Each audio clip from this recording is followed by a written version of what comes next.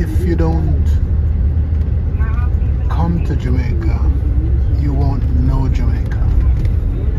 And therefore, it's easy for you to say, I don't want to vacation in Jamaica.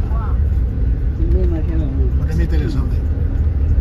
This is probably the most beautiful sight I've seen in any country that I've been to. It is lovely just to drive around on the Knutsford Express and experience the beauty and the, the deep greenery, the deep forest greenery that you experience just driving around in Jamaica. This is this is absolutely fabulous.